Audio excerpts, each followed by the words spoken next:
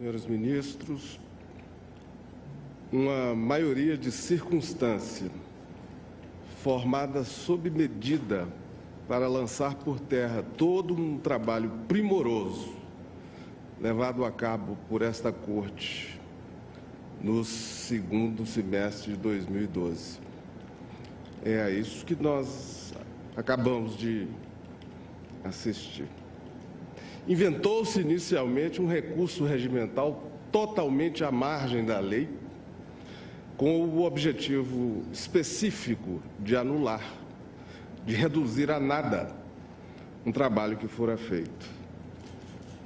Sinto-me autorizado a alertar a nação brasileira de que este é apenas o primeiro passo, porque essa maioria de circunstâncias tem todo o tempo a seu favor para continuar na sua sanha reformadora.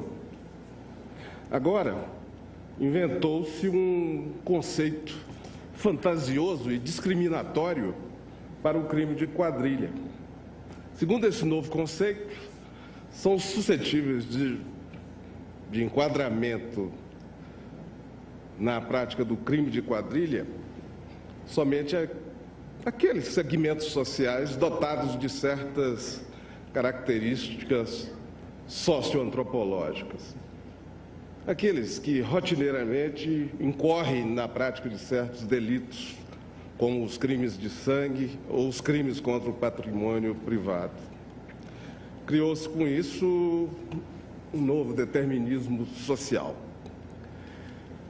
Eu ouvi com bastante atenção argumentos tão espantosos quanto aqueles que se basearam simplesmente em cálculos aritméticos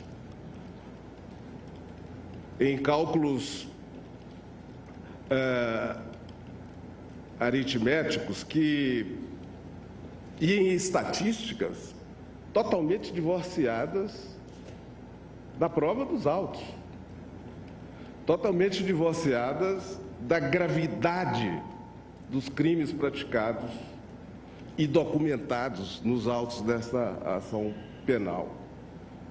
Enfim, totalmente divorciados do contexto probatório individualizado que restou demonstrado no acórdão proferido por esta Corte em 2012. Eu ouvi até mesmo, senhores ministros, a seguinte alegação. Eu não acredito que esses réus tenham se reunido para a prática de crimes. Há dúvidas de que eles se reuniram? De que eles se associaram e que essa associação perdurou por quase três anos? Ninguém ousou dizer que essa associação não existiu. E o que dizer dos crimes que eles praticaram e que hoje, em relação aos quais pagam pena, cumprem pena? em presídio da, da capital federal.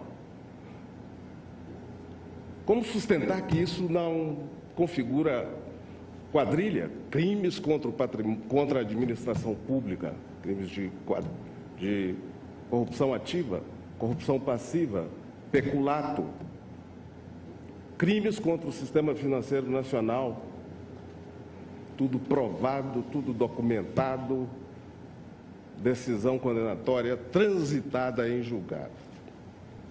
Esta é uma tarde triste para esse Supremo Tribunal Federal, porque com argumentos pífios foi reformada, foi, como eu disse, jogada jogada por terra, extirpada do mundo jurídico, uma, uma decisão plenária sólida, extremamente bem fundamentada, que foi aquela ah, tomada tomada por este plenário no segundo semestre de 2012.